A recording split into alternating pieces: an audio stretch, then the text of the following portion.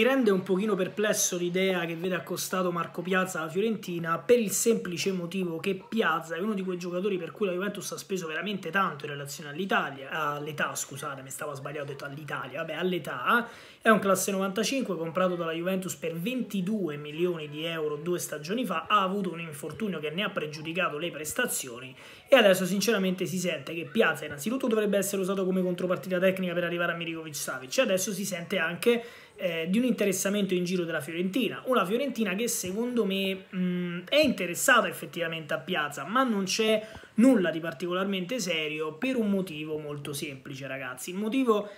per cui vi dico è che la Juventus non cede calciatori che ha acquistato a determinati prezzi a prezzi inferiori. Quindi di conseguenza se la Fiorentina vuole Piazza deve sborsare penso almeno 25-30 milioni un acquisto così per le casse della Fiorentina è abbastanza oneroso e sinceramente non ce la vedo la Fiorentina a presentarsi dalla Juve e spendere 30 milioni di euro per Piazza. Vedo più la Juve cederlo all'estero Piazza o paradossalmente metterlo veramente con la Lazio nell'affare Savic. Tra l'altro una cosa molto importante è ieri si è parlato di un interessamento della Juve per Chiesa eh, si era parlato di una bufala di mercato in cui si diceva che la Juve avesse fatto un'offerta di 50 milioni di euro più due contropartite tecniche per Chiesa, cioè praticamente un altro po' ce dobbiamo dai reni a loro, cioè boh, se vuoi un rene te lo do della serie. In realtà non è vero niente, io non penso che la Juve possa andare,